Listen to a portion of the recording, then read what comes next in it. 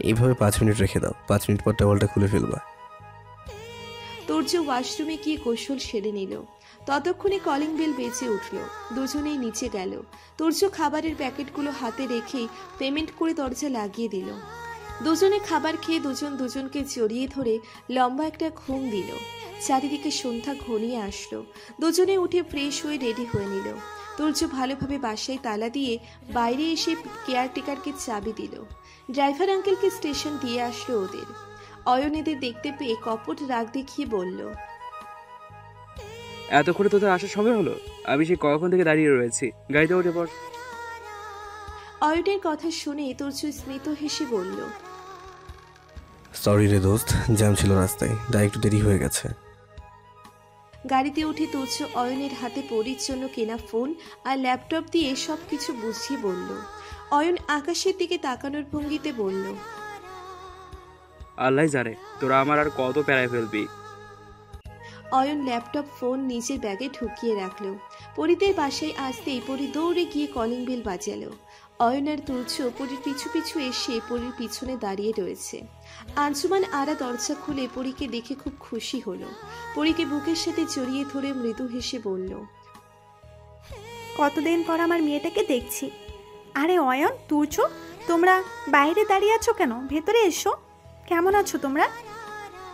তুর্য আঞ্জুমান আরার পায়ে হাত দিয়ে সালাম করে স্মিত হেসে বলল আমরা ভালো আছি আন্টি। আপনি কেমন আছেন? অপু কোথায়? আঙ্কেল কেউ তো দেখছি না। সবার কথা বলার মাঝেই পরি কটকট করে হেঁটে নিচের রুমে চলে গেল। বেচারি আসার সময় গাড়িতে একটা কথাও বলেনি। সারা রাস্তা চুপচাপ ছিল। আঞ্জুমান আরাই স্মিত হেসে অয়নকে বলল অয়ন চা তোর চোখে নিয়ে রুমে গিয়ে ফ্রেশ হ। খাবার খেয়ে রেস্ট নিয়ে পরে কথা বলিস। ফ্রেশ হয়ে আয়। আমি টেবিলে খাবার দিচ্ছি। আঞ্জুমান আরা পরীকে ডেকে বলল পরি ফ্রেশ হয়ে খাবার খেয়ে নাও, মা। রাত হয়ে যাবার কারণে সবাই ডিনারে বসল। ইতিমধ্যে পরীর বাবাও এসে গেছে। অয়ন, তুর্য পরীর বাবার সাথে কুশল বিনিময় করল খাবার টেবিলেই। সবাই মিলে ডিনার করছে। সবাই খাচ্ছে, কিন্তু পরী আর তুর্য খাবার নাড়াচাড়া করছে। দুজন একসাথে খেয়ে অভ্যেস হয়ে গেছে। দুজন দুজনের দিকে এক পলক তাকিয়ে হালকা কিছু খাবার খেয়ে উঠে গেল। পরী রুমে এসে বেডে শুয়ে মনে মনে বলল খাবার তো কষ্ট করে একটু খেলাম, কিন্তু দুর্যোগে ছাড়া আমার ঘুম হবে না আজ রাতে। দূরে থাকলে অন্য কথা, কিন্তু এক ছাদের নিচে আলাদা থাকলে আমার ঘুম কখনোই আসবে না। তুর্য ওয়াশরুমে গিয়ে ফ্রেশ হয়ে তুর্যের টি শার্ট আর জিন্স পরে বেডে এসে শুয়ে পড়ল। ঘুম যেন পরীর চোখে ধরা দিতেই চাইছে না। হঠাৎ করে ফোনে টেক্সট এর শব্দ পেয়ে পরি ফোনটা হাতে নিল। স্ক্রিনে চেয়ে দেখল তুর্যের টেক্সট। টেক্সটটা ওপেন করতেই পরীর ঠোঁটের কোণে হাসি ফুটে উঠল। বউ দরজা হলো রাখো। সবাই ঘুমিয়ে পড়লে আমি আসব তোমার কাছে।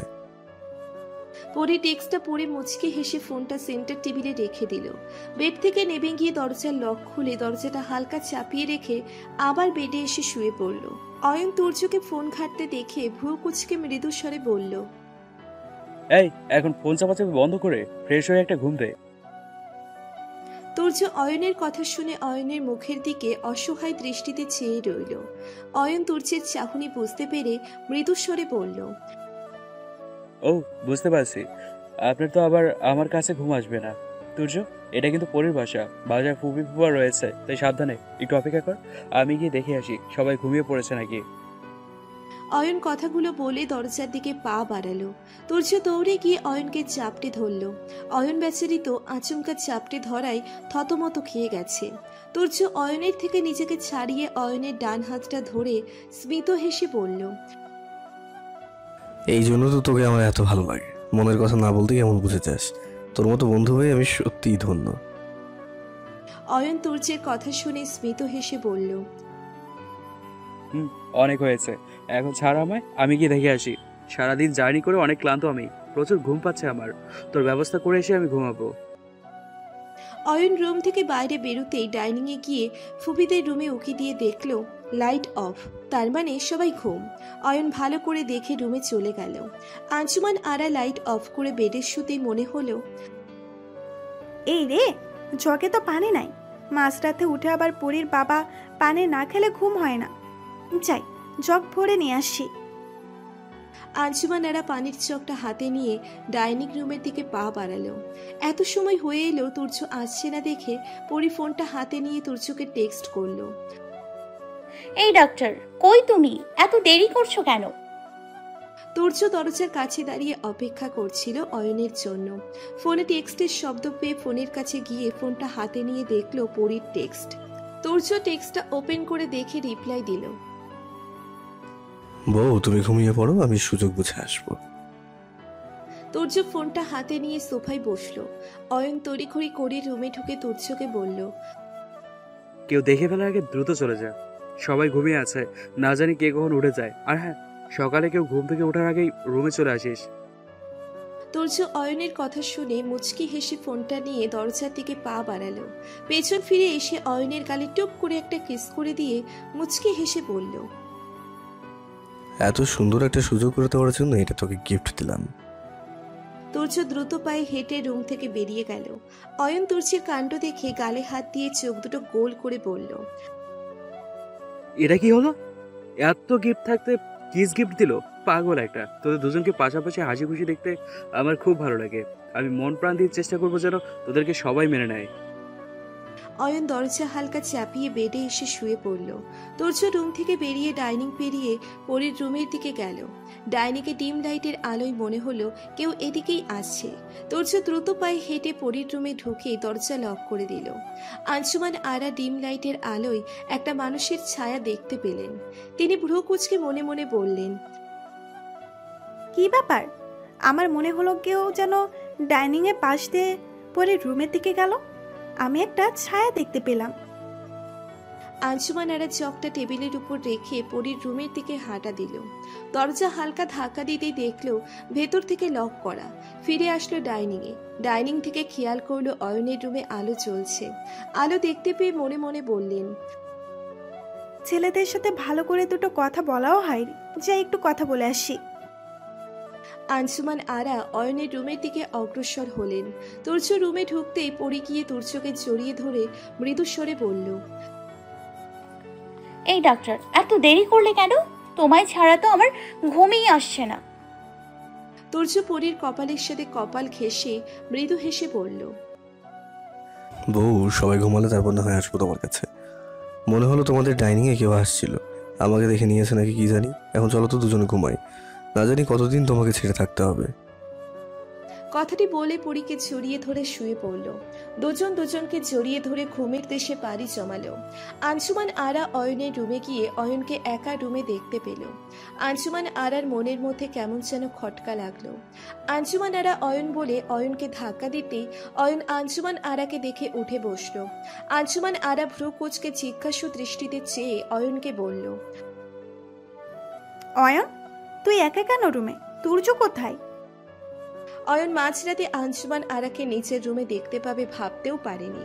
আঞ্জুমান আরাকে দেখে ভয়ে অয়নের গলা শুকিয়ে কাঠ হয়ে গেল। আঞ্জুমান আরার দিকে চেয়ে চোখ দুটো গোল করে ভয়ে বার কয়েক শুকনো ঢোক গিলল। আঞ্চুমান আরা এবার ঝাঁঝালো স্বরে বলল অয়ন আমি কিছু জিজ্ঞেস করছি তোকে। উত্তরটা দিয়ে দে প্লিজ। অয়ন ভয়ে আমতা আমতা করে বলল পরীর রুমে কথাটি বলে একটা শুকনো ঢোক গিলল। মনে মনে তোর চোখে একশো একটা গালি দিয়ে মনে মনে বলল সালা তুই তো রোমান্স নিয়ে ব্যস্ত। আর এদিকে আমি বলির পাটা হয়ে আছি। হায় আল্লাহ রক্ষা করো আমায়। না জানি আজ কপালে কি আছে আমার। অয়নের কথা শুনে রাগে আঞ্জুমান আরার গা ঘিন ঘিন করছে। আঞ্জুমান আরা রাগে লোক নিয়ে অয়নের দিকে চেয়ে বললেন পরীর রুমে মানে? অয়ন তোর মাথা ঠিক আছে? বিয়ের আগে একটা ছেলে একটা মেয়ের সাথে একা থাকে মানে বুঝিস কিছু? সমাজের লোক জানতে পারলে আমার মেয়েটার দিকে আঙুল তুলে কথা বলবে। তুই ভাই হয়ে এমনটা কি করে করতে পারলি? আঞ্জুমান আরা অয়নের হাত ধরে টেনে বলল চল আমার সাথে তুর্যকে ঘর থেকে বের করবি তুই। অয়ন আঞ্জুমান আরার মুখের দিকে চেয়ে মৃদুস্বরে বলল পুপি পুপি তুমি প্লিজ শান্ত হও। পরি আর তুর্য দুজনের লিগ্যাল স্বামী স্ত্রী। তুর্য এমন কিছুই করবে না যেটাতে সমাজের লোক পরীর দিকে আঙ্গুল তুলে কথা বলবে। আঞ্জুমান আরা অয়নের কথা শুনে একের পর এক শকড হচ্ছে। অয়নের হাত ছেড়ে থেমে গিয়ে বলল এই তুই মাঝরাতে কি ভুলভাল বলছিস? তোর মাথা ঠিক আছে তো? তুর্য পুরী কি করে স্বামী স্ত্রী হয়? ওদের তো এখনও বিয়েই হয়নি। অয়ন আঞ্জুমান আরাকে মৃদুস্বরে বলল আমি ভুলভাল বলছি না। ওদের ভালোবাসা পবিত্র। তুর্য সত্যি সত্যি পরীকে বিয়ে করেছে। ওরা লিগালের স্বামী স্ত্রী। ওরা দুজন দুজনকে পাগলের মতো ভালোবাসে। অয়ন শুরু থেকে পুরো ঘটনাটা আঞ্জুমান আরাকে খুলে বলল। আঞ্জুমান আরা অয়নের কথা শুনে ধপ করে বিছানায় বসে পড়ল। ছলো ছলো নয়নে অয়নের মুখের দিকে চেয়ে মৃদুস্বরে বলল আমার অজান্তেই আমার মেয়েটার বিয়ে হয়ে গেল। অয়ন তুই? তুইও আমাকে কিছু জানালি না? অয়ন আঞ্জুমান আরার কথা শুনে অসহায় দৃষ্টিতে আঞ্জুমান মুখের দিকে চেয়ে বলল খুবই বিশ্বাস করো আমি জানতাম এই বিয়ের কথা। তুর্য বিয়ে করার পর সব কিছু আমায় জানিয়েছে। তোমার কাছে একটাই রিকোয়েস্ট করব।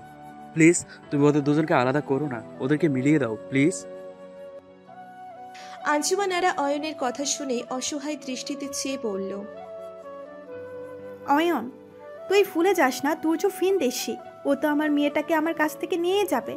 আমি আমার মেয়েকে না দেখে থাকব কি করে? কথাটি বলে আঞ্জুমান আরা কেঁদে দিলেন।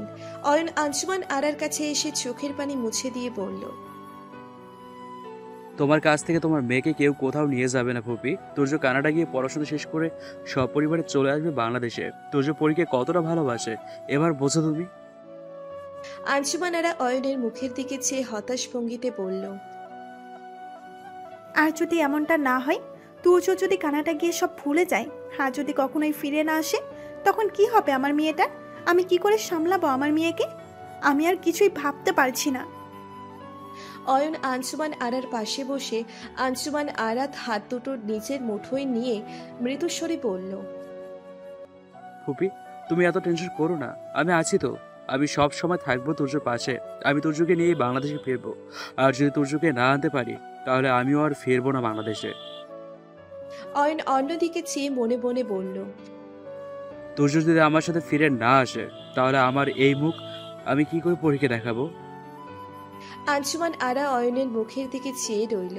অয়ন স্মিত হেসে বলল কিন্তু আমি জানি তুর্য এমন কিছুই করবে না। আমি তুর্যের সাথে থেকে তুর্যকে যতটুকু চিনেছি তাদের তুর্যর মতো ছেলে খুঁজলে তুমি হাজারে হয়তো দু একটাও পাবে। ফুপি তুর্য পরীকে নিজের থেকেও বেশি ভালোবাসে। তুর্য নিজের জীবন দিয়ে হলেও পরীকে আগলে রাখবে। অয়ন মুচকে হেসে সোফায় রাখা ব্যাগ থেকে ফোন আর ল্যাপটপ বের করল। আঞ্জুমানারা অয়নের মুখের দিকে চেয়ে ভয় মিশ্রিত স্বরে বলল তবু আমার খুব ভয় করছে অয়ন। না জানিয়ে এর শেষ পরিণতি কি হয়? অয়ন ফোন আর ল্যাপটপের প্যাকেটটা আঞ্জুমানারার হাতে দিয়ে মৃদু স্বরে বলল ও ফুপি তুমি তো ভেবো না তো? যা হবে ভালোই হবে। আঞ্জুমানারা ভ্রু কুচকে প্যাকেটের দিকে চেয়ে অয়নকে বলল কি এটা? এত বড় আর ভারী কেন? কি আছে এতে? অয়ন আঞ্জুমান আরার পাশে বসে স্মিত হেসে বলল এটাতে একটা মোবাইল ফোন আর একটা ল্যাপটপ রয়েছে। তুর্য কিনেছে পরীকে দেওয়ার জন্য। কিন্তু তোমার ভয়ে দিতে না পেরে আমার নাম করে পরীকে দিতে বলেছে। আঞ্জুমান আরা প্যাকেটটা বেডের উপর রেখে দিয়ে বেড থেকে উঠে দাঁড়িয়ে অয়নের দিকে চেয়ে স্মিত হেসে বললেন যার জিনিস তাকে বলিস। নিজ হাতে পরীকে দিতে কিন্তু তুই একটু ফুল করেছিস। অয়ন আঞ্জুমান আরার দিকে ভ্রু কুচকে জিজ্ঞাসু দৃষ্টিতে চেয়ে রইল। আঞ্জুমান আরা স্মিত হেসে বলল আগে থেকে বললে ছেলেটাকে আমি জামাই আদর করে একটু যত্ন করতে পারতাম। যাই হোক অনেক রাত হয়েছে ঘুমিয়ে পড়। আঞ্জুমান আরা অয়নের রুম থেকে বের হয়ে ডাইনিং থেকে পানির জগটা ভরে নিয়ে রুমে আসলো। বেডে শুয়ে দীর্ঘ শ্বাস ছেড়ে ঘুমিয়ে পড়ল। আঞ্জুমান আরা চলে যেতেই অয়ন বেড থেকে প্যাকেটটা সোফায় রেখে মনে মনে বলল আমি জানতাম কেউ না মানলেও তুমি ঠিকই মেনে নেবে ওদের বিয়েটা। অয়ন দীর্ঘশ্বাস ছেড়ে স্মিত হেসে বেডে এসে ঘুমিয়ে পড়ল। সকালে ঘুম ভাঙতেই আঞ্জুমানারা তড়িখড়ি করে উঠে ফ্রেশ হয়ে কিচেনে চলে গেল। পরীর রুমের দরজা বন্ধ রয়েছে দেখেও আঞ্জুমানারা আতঙ্কিত হয়ে আছে। নাস্তা রেডি করতে করতে মনে মনে বলল, পরীর বাবা যদি দেখে নেয় তুর্য পরি এক রুমে, তাহলে সাংঘাতিক কাণ্ড বাঁধাবে। অয়নটা এখনও ওঠেনি। কি যে করি? ভাবতে ভাবতে নাস্তা রেডি করে টেবিলে রাখল। পরীর বাবাকে দেখল একদম রেডি হয়ে ডাইনিংয়ে আসতে। আঞ্জুমান আরা ঠোঁট দুটো প্রসারিত করে জোর করে হাসার চেষ্টা করে বলল এ কি তুমি আজ এত সকাল সকাল উঠেছো যে? পরীর বাবা ডাইনিং চেয়ারে টেনে বসে মৃদু স্বরে বলল